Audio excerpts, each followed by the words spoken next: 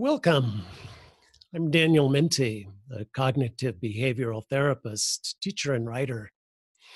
Today I'll be presenting an overview of the science we call CBT, beginning about 150 years ago and moving forward to the present. I'll be sharing a few PowerPoint slides that summarize the role of emotion in the big picture of human life and explain the difference between natural and unnatural emotion, and cognition. We'll then take a look at the ways in which CBT can help us select those feelings and thoughts we most want to live with, and the ways in which CBT changes not only the mind, but the brain and body as well. Finally, I'll share a simple tool you can use to map this information onto any moment in your own life. I was teaching in India recently and visited the Karla Caves, a Buddhist shrine built before the start of the Common Era. Found these inscriptions there of Vedic literature. And in the Vedas, we see perhaps the first record of the relationship between thinking and one's experience of human life. So, cognitive behavioral therapy is a very ancient science and seems to go back to the very beginnings of the human experience. While we speak of cognition and behavior, the point of that exercise is emotion. The reason we would practice CBT is because we want to feel differently than we do. Want to feel less of some negative emotion, say, or perhaps more of some positive emotion. Emotion itself is life's first milieu. It precedes cognition and is moderately heritable. About 50% of our emotionality is related directly to our genes. The other 50% would have to do with our environment, our context and personal choices that we'd make. So, emotion, like physiology, is a setting for all other human experience. Our sensations, our perceptions, our actions, our thinking, these all take place in the context of our emotionality. And that emotionality is interdependent on all of the rest of human experience. Take, for example, the experience of pain. If we're depressed, the same stimulus is going to hurt more than if we're not. And if we're in a chronic state of pain, the probability that we will also become depressed goes way up.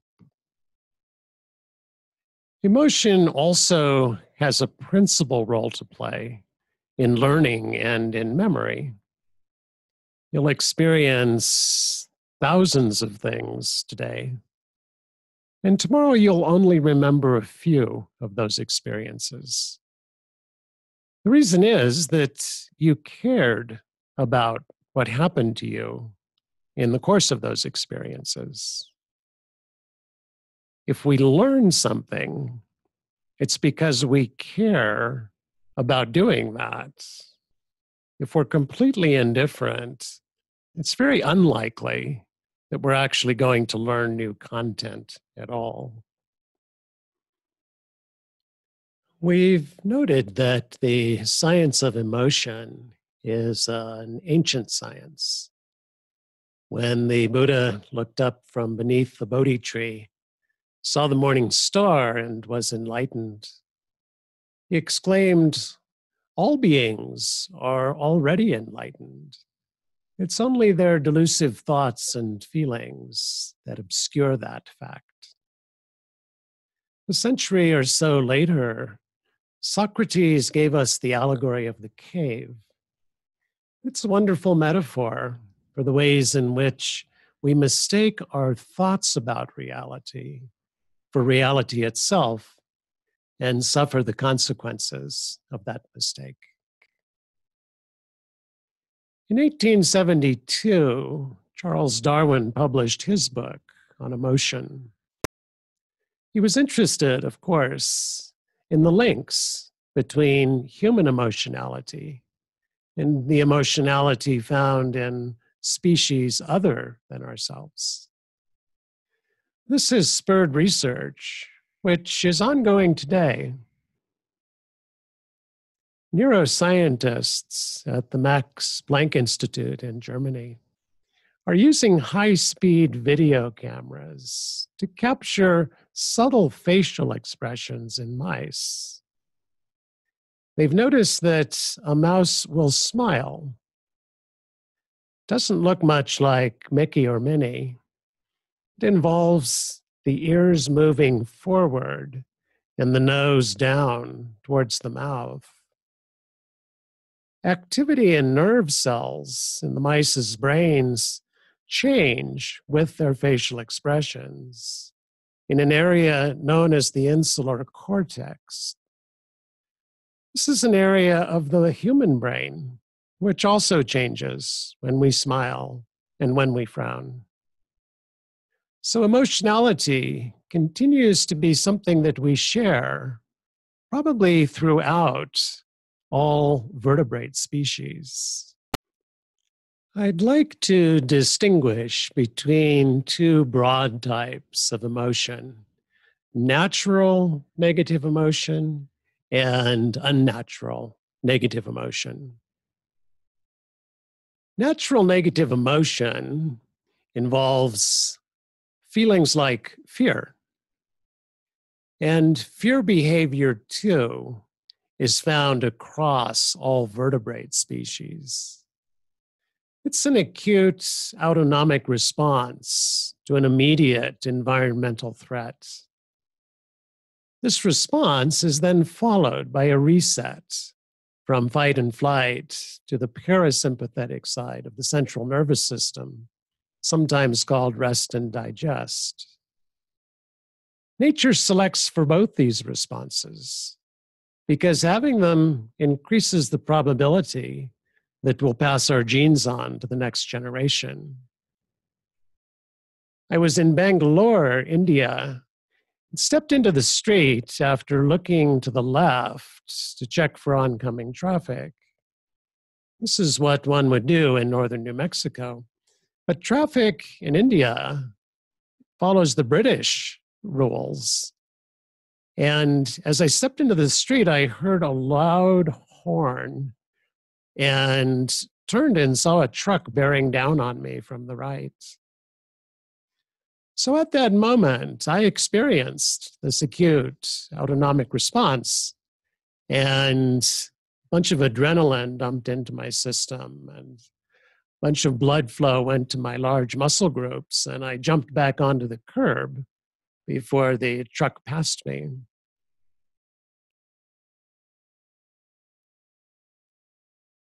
Another natural negative emotion is sadness. Grief and sadness are adaptive physical and psychological responses to loss. So the loss might be a loved one or one's home. And grief behavior, too, has been observed across species as various as whales and peccaries. Apparently, having this response helps us find our way forward together in our communities and recognize the bonds that exist between us. Let's look now at the second class of negative emotion unnatural negative emotion. An example of unnatural negative emotion is anxiety. Instead of being a response to an immediate environmental threat, anxiety is a response to distorted thinking and perhaps to avoidant behavior. This response is attended by structural and functional changes throughout the brain and body, and when those changes occur in a chronic way, they're accompanied by many health risks. We think that the increased comorbidity of cardiovascular illness and dementia is probably mediated by the inflammation response, which anxiety also produces. If sadness and grief are natural negative emotions, their unnatural counterpart would be depression. Here again, depression is not related to a loss, but rather to distorted thinking and behavioral suppression. And when depression is a chronic state, it too is accompanied by structural and functional changes in the brain and body and those changes travel with a variety of health risks, in part due to the decreased immune response that we experience when we're depressed. Just as emotion can be either natural or unnatural, so too can cognition. I think of natural thought patterns, the way I would think of a natural human posture. When we stand and walk a certain way, we are supported by our structure and can use muscular energy to move towards things that we want. When we're standing or walking in an unnatural way, we need to use energy to hold ourselves in that position. And that holding will likely, over time, produce pain and fatigue. So, a natural thought is a good roadmap of reality. That is to say, the thought matches the fact pattern of our lives. Our natural or rational thoughts do not create unhealthy negative emotion, and they may actually produce positive emotion. An example might be a student who says to herself, if I study for the final, there's a better probability that I'll get a good grade. Telling herself that, she may experience motivation to study and positive anticipation of that good grade. Unnatural thoughts, we could also call distorted thoughts. The word distorted comes to us from the Latin and it means to twist. So a distorted thought is a thought with a twist. As such, it's a poor map of reality. And believing such thoughts, just as following a bad roadmap, is going to create unnatural negative emotion like anxiety or depression. So, distortion is an active ingredient in an unnatural thought. And so too is belief. We might have a wildly distorted thought, But if we don't believe it, it probably won't create emotional turmoil for us. So, going back to our students, perhaps she says to herself, I'm going to fail the exam. And we can see how that thought would create unnatural negative emotion, very likely anxiety and or depression. Here's a few common distortions taken from my book, Reclaiming Life After Trauma. The student who told herself she would fail her exam was practicing clairvoyance. That is, pretending that she could foretell the future. A thought might be so focused on one part of the picture, as though we're looking through a telescope, that we miss the bigger picture. Perfectionism is a common distortion. Thoughts that tell us we have to get things just right. Judgment, too, is very common. This generally takes the form of should statements, telling ourselves that we or other people or the world should be a certain way. And then finally, truthiness is those thoughts that say, well, it feels true, therefore it must be true. It feels like that person would reject me if I approach them. So they probably will. Now, any thought, natural or unnatural, doesn't spontaneously occur in our frontal lobes. Rather, it's nested in an entire ecology of other aspects of our experience. At the ground level, we have our beliefs or assumptions about the way things are. These beliefs are constantly triggered by events that occur in our environment.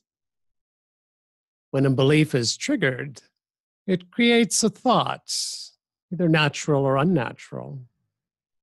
It generates an emotion, natural or unnatural, which drives a behavior, either goal oriented or self defeating. And our behaviors, in turn, create data that proves our beliefs are true. Let's look at how that's happening for me right now. I have a belief that CBT is a powerful tool for human change. That belief gets triggered by people who ask me to teach or to write or to see them as patients those triggers create thoughts. In this case, I could share this class with a wider audience. That thought generates an emotion, in my case, enthusiasm. That enthusiasm drives the behavior, creating this video. And that creation and the fact that you are viewing it are data in support of my belief that CBT is worth sharing. So we could take any moment of anyone's life and map these six discrete elements onto it, thus understanding in a deeper way the ecology of human experience.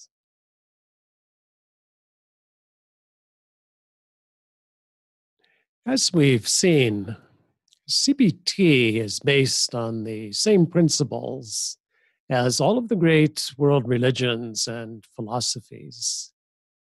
That is, the notion that our beliefs, thoughts, and behaviors create our emotions, and thus much of the milieu of our living and dying. As a result, each of these three our belief systems, our thoughts, and our actions are doorways into transformation, into a new milieu. Let's look at two of these now.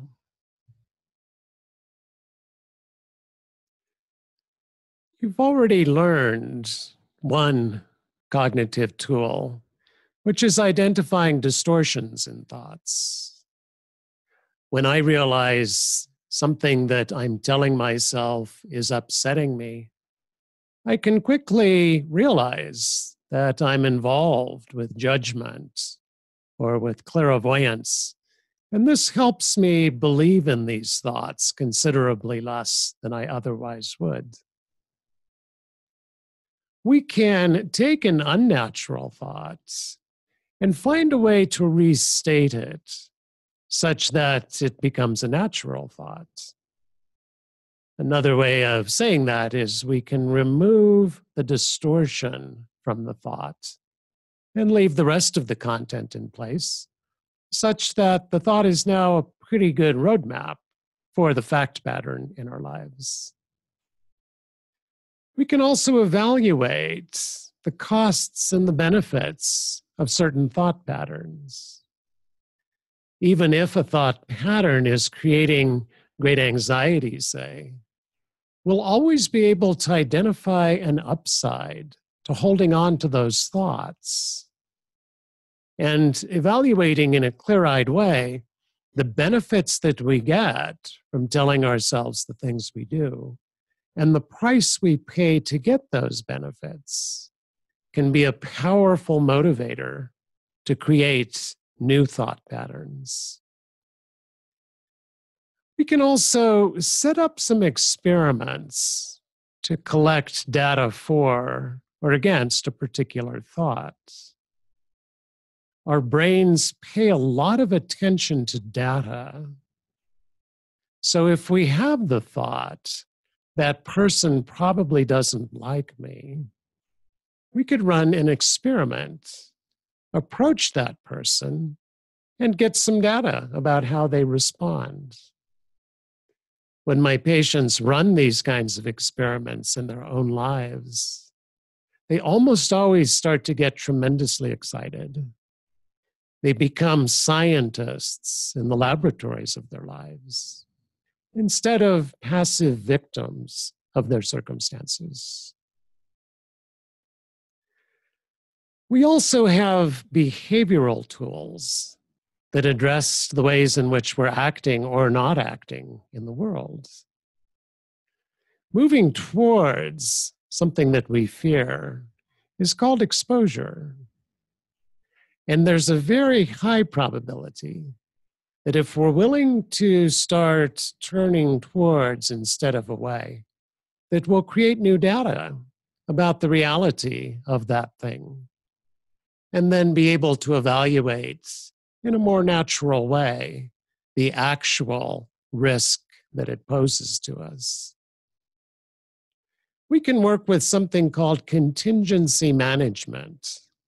That is, we can rearrange the circumstances around a particular behavior. When someone asks for my help with smoking cessation, we talk about removing things like ashtrays and matches and certainly cigarettes from their home so that emitting the old behavior that is lighting up suddenly is a lot more costly. And that higher cost might change the choice to continue smoking or not.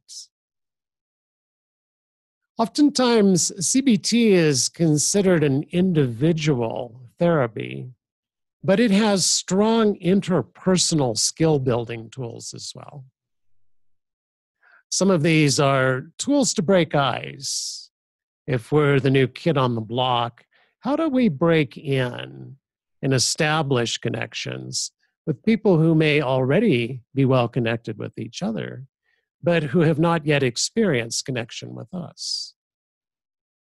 We can also learn to be appropriately assertive.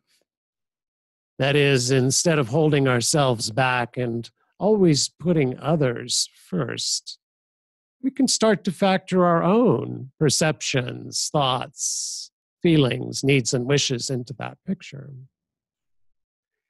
And finally, we can learn to become experts at processing interpersonal emotion. Perhaps the largest challenge that we face is when someone's very angry with us, or when we're very angry with someone else. And they don't teach us in school how to process that moment in human relationship. And as a result, we tend to avoid or repress or act out feelings like anger instead of utilizing them to connect with each other in new, authentic, and vital ways. Welcome to the body mind. Speaking of distortions, the language that we use when we speak of mental health versus physical health gives us a distorted view of this phenomena. For while language separates body from mind, these are distinct entities, never separate entities. Thought itself is a physical entity. It's a nerve impulse, an electrochemical wave in the brain. Cognitive science has coined a new term for unnatural thoughts cognitive viruses. These thoughts are called viruses because they trigger the immune system and create inflammation in the body, just as the COVID virus would. Here are two examples. If we're in chronic pain, the simple thought of making a particular movement will activate the pain neurotag that is the cascade of sympathetic central nervous system, immune system, endocrine system, and motor system responses. This occurs as well in PTSD, but in the opposite direction. Instead of thinking of something that will happen, we recall something that has happened. Traumatic memories, again, electromagnetic activity in the brain will trigger the same cascade of physical responses in the body. These responses are expressions of the brain's desire to protect us from harm and its perception that an unnatural thought or cognitive virus is, in and of itself, in fact, dangerous. Thus, the body mind expresses the essential unity of mind and body while acknowledging that it's useful to distinguish between the two. CBT addresses cognitive viruses, and studies show that it decreases allostatic load Allostatic load is uh, the biomarkers of stress in the human body. Studies have also found that CBT downregulates an overactive amygdala, which is very common with the anxiety disorders, and that CBT supports the immune response, which is a problem with depression. CBT will actually decrease pro inflammatory cytokines and increase anti inflammatory cytokines, thus restoring balance to this essential part of the body system. Studies have shown that CBT will increase hippocampal volume in depressed patients. And the increase in lost volume correlates with a decrease in depressive symptoms. CBT also upregulates activity in the anterior cingulate cortex, an area that is oftentimes turned down with PTSD. CBT also increases heart rate variability, a baseline measure of wellness in the body. It balances the hypothalamic pituitary adrenal axis, a major neuroendocrine system that controls reactions to stress and regulates many body processes including digestion and the immune system.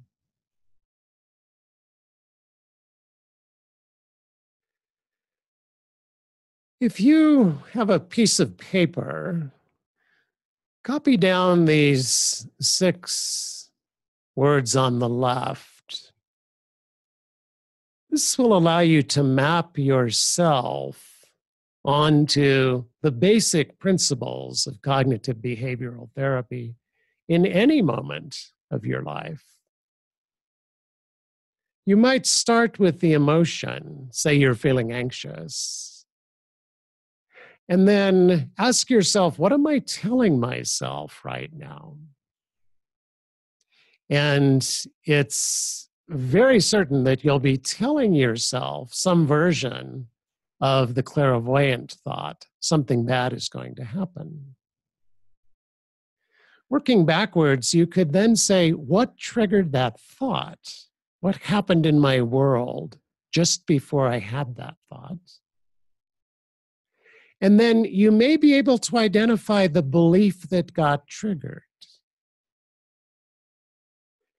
If the emotion were anxiety and the thought, that person probably doesn't like me, and the trigger was that person looked at me and frowned or looked at me and looked away, the belief might be something like, I'm just not very likable